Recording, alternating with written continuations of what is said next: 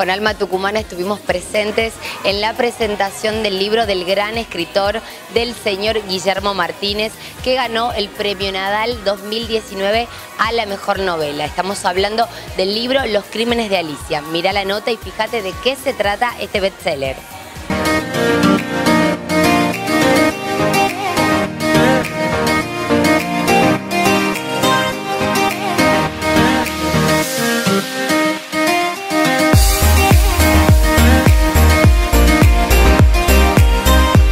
Nos encontramos con Guillermo Martínez previo a esta presentación acá en Tucumán del libro Los Crímenes de Alicia. ¿Cómo estás, Guillermo? Encantado, muy bien.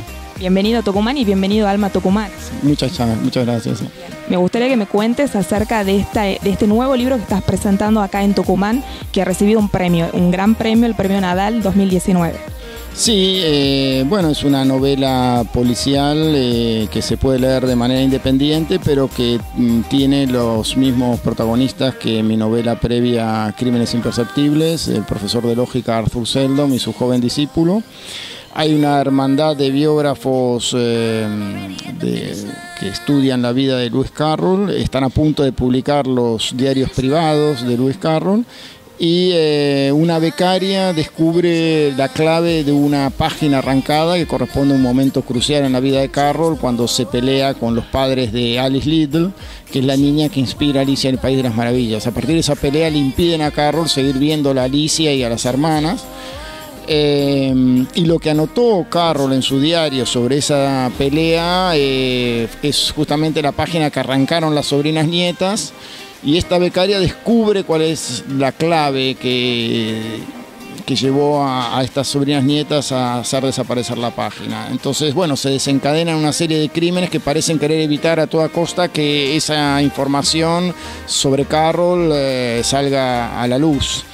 Eh, entonces es una novela policial que tiene por un lado la intriga de los crímenes y los crímenes tienen que ver con escenas del libro de Alicia y por otro lado, algo así como un toque gótico que, tiene que ver con la figura de Luis Carroll, la, biografía de él que se cuenta y más bien se pone en, jaque desde varios ángulos eh, a lo largo de la novela. O sea, quién era Carroll, cómo era su relación con las niñas, etc.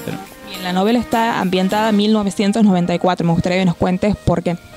La novela está ambientada en el año 1994 porque es el año real en que se descubrió en la Casa Museo de Guilford este pedazo de papel eh, con la información sobre esas páginas arrancadas. Entonces, eh, mi novela anterior terminó en el 93, como este hecho ocurrió en el año 94, me pareció bueno... Eh, extender por un año más la beca de mi narrador y eh, hacerlo reaparecer junto con el, profesor Seldon para esta especie de segundo caso. ¿En quién te inspiras para escribir? Eh, ¿Tenés algún referente dentro de los escritores de policiales?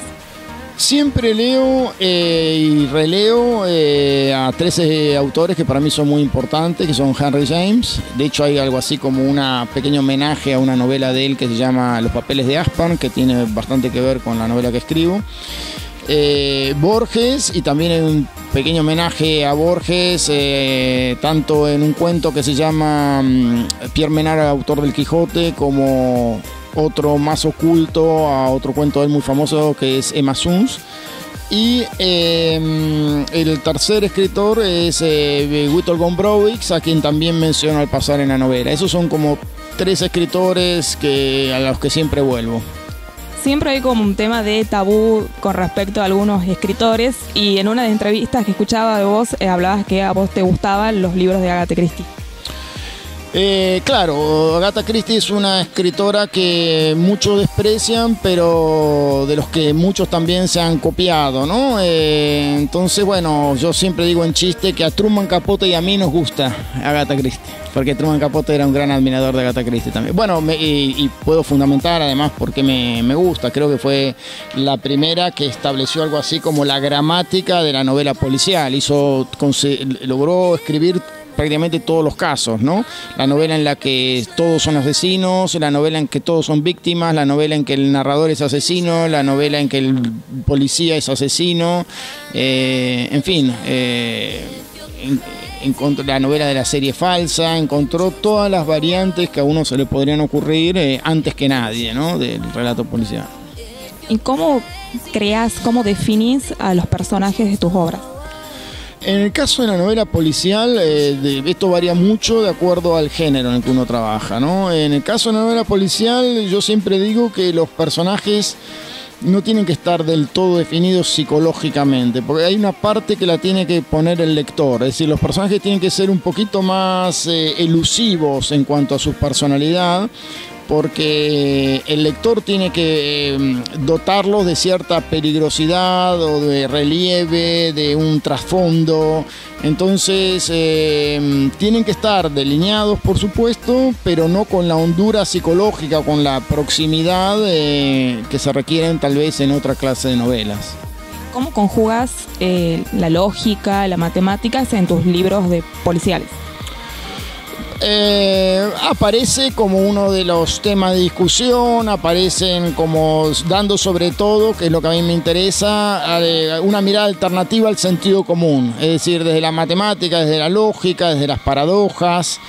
Eh, se puede mostrar de una manera para mí iluminadora otras posibilidades al sentido común. Es decir, la serie 2, 4, 8 y 16 se puede seguir con el número 32, pero también y de una manera muy razonable con el número 31. Bueno, eso es lo que trato de hacer jugar en mis novelas. Buenísimo.